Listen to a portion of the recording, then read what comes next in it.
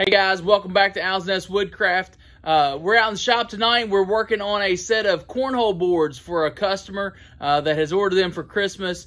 And so uh, uh cornhole boards are a pretty simple project to make. It's definitely something that you can do uh, with your kids or or uh, someone else that's a that's an amateur at woodworking. but one of the things that I'm trying to do is is develop a, a little bit of a system for doing the legs. And so I'm going to walk you through how to do that. And uh, so stay tuned.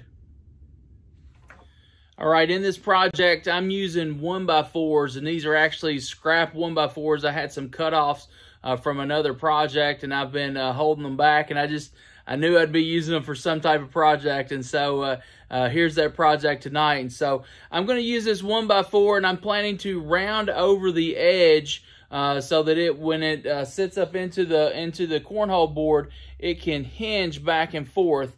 And so I'll do that round overcut, and then I'm going to come back down into here and create a rabbet uh, with a piece of plywood uh, so that it adds some strength and stability uh, going left to right. And so I'll show you how we're going to do that.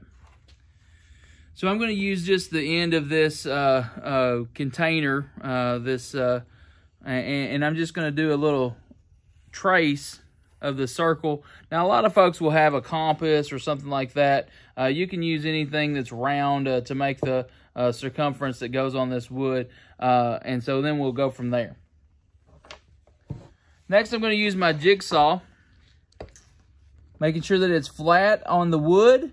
And then I'm just going to trace the outline.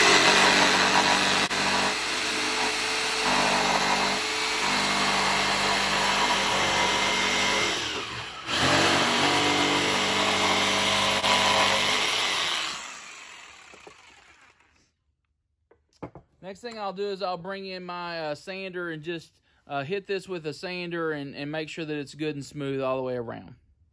All right, we're going to start by measuring down an inch and a half. We have that there. Then we're going to measure right in the center. It should be about an inch and five eighths. So that's 10 sixteenths. So it should be about right there. I'll bring that in here. I'll go back and measure the other way to just make sure that it's right in the center. It's less than a 16th off. I'll pull this over like this.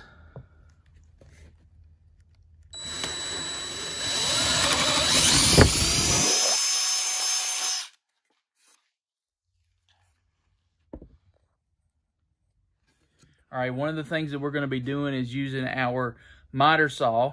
Uh, I have a, a DeWalt uh, rail saw here, and it's a combination miter saw on a rail.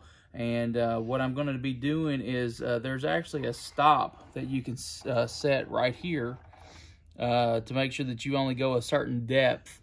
And so we're going to be adjusting that so that we can carve out this rabbet and so I've kind of got the uh, sacrificial piece right here uh, to uh, mark so that we can set our saw uh, and cut the rabbet. And so I'll do a test cut first on this end uh, because these are all longer than they need to be. And so we'll do a test cut down here first and then we'll move into uh, cutting the rest of the rabbet In order to adjust your saw so that you can do that, it's got this little trigger right here, this little stop that you can put into place and then it has this adjustable um, edge right here that you can use. And so I'm going to loosen the wing nut uh, and then I'm just going to start extending that out. And so I'm going to come down, still not far enough.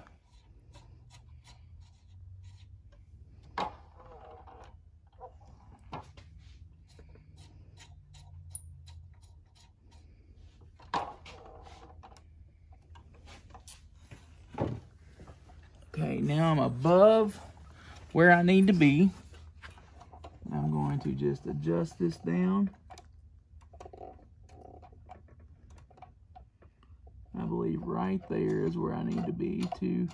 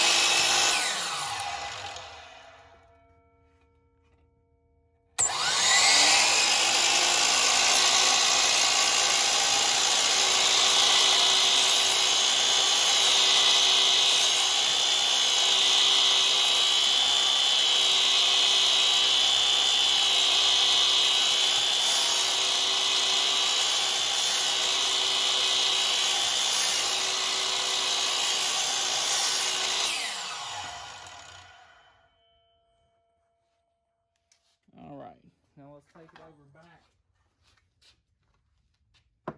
Do our test fit.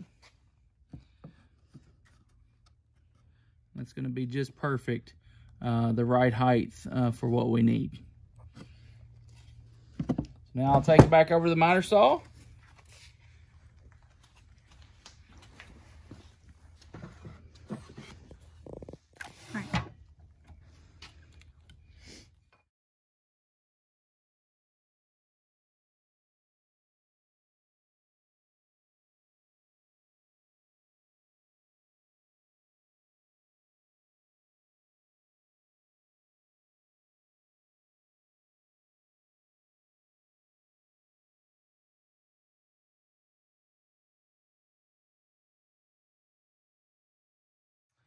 Now that I've got the rabbet cut and uh, they're all at the same height, I can clean these up uh, now with a chisel or some sandpaper uh, to make sure that it's a smooth and a great contact uh, for when we glue our um, cross, uh, cross brace in.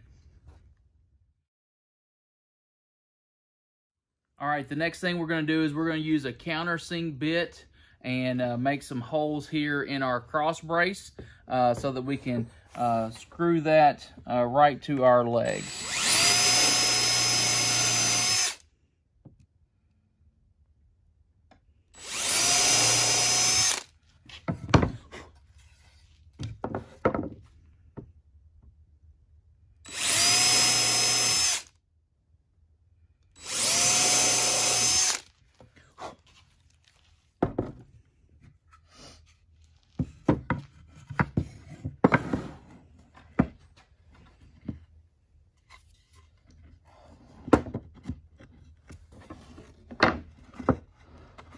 Just doing a test fit right now.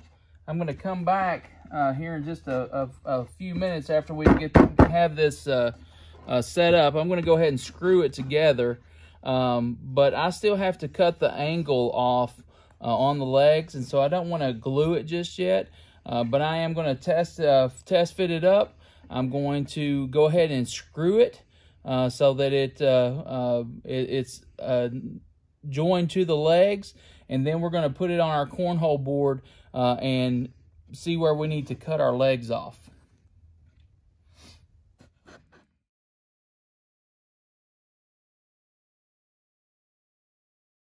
All right, now that we've got our leg system built, uh, it's time to attach it to the uh, cornhole board. And so I've cut a one inch block uh, that I'm gonna put in here. And I'm just gonna push this up right like that so that I hold this leg system off one inch, okay? Once I do that, I'm going to just clamp this in place, okay? All right, now that I've got it clamped, I've made sure that this, uh, this uh, leg is flush with the bottom of the cornhole board. Remember, I pre-drilled my hole in the leg, and so now I'm going to use that hole to guide uh, to drill another hole to come outside of the uh, side of the cornhole board. I'm going to move my one inch block. Make sure you hold your drill straight. Come out the other side.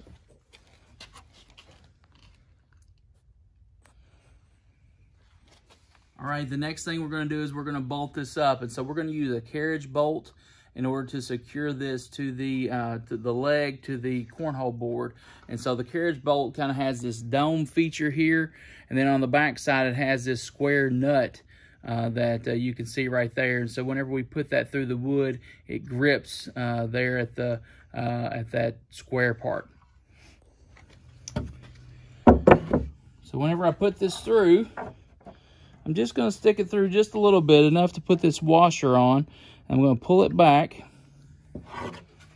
This is a pretty tight fit.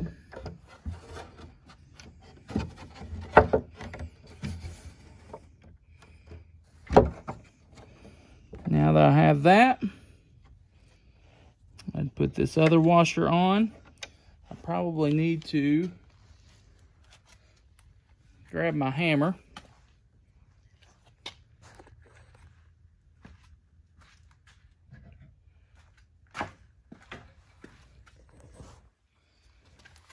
Now I'll just take my hammer and I'll seat this into the wood. I'll take my other washer. And then I have a nut that'll go on. And then I'll do the same thing on the other side.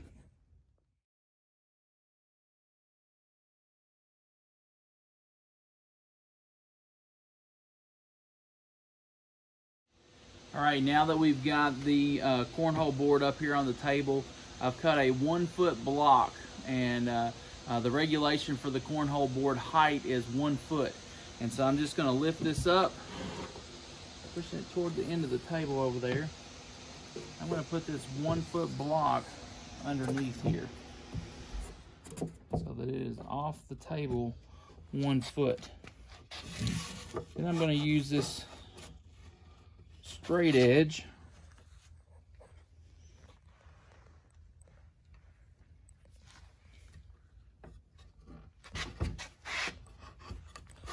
To extend out. Mark the angle.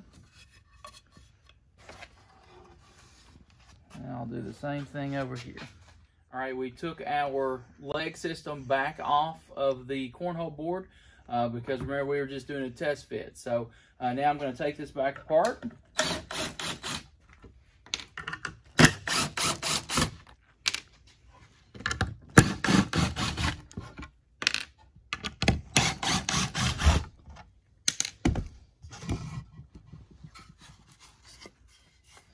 Now I've got it marked where I need to cut, and so we'll go over to the miter saw and make that cut.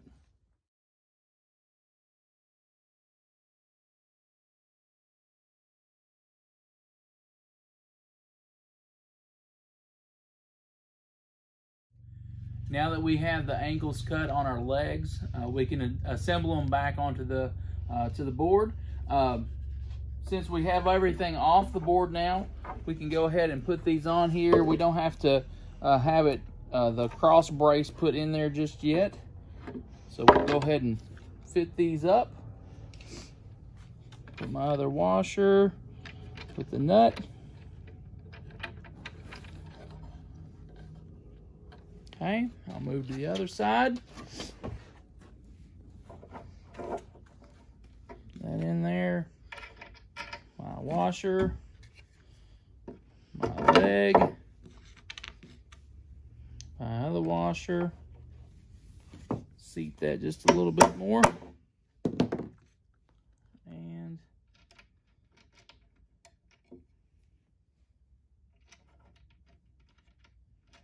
the nut.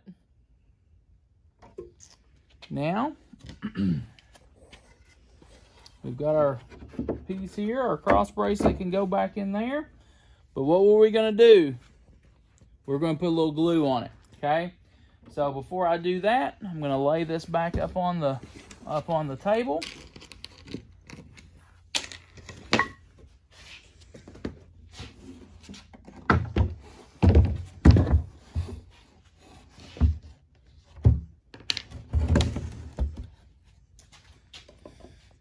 I'm just using a uh, Gorilla Glue. It's a wood glue. Uh, I use different types of glue uh, all the time. Oftentimes I use Titebond, uh, but uh, the last time I went to the store, I happened to get Gorilla Glue. And so that's just what I'm using. You can use whatever brand you prefer.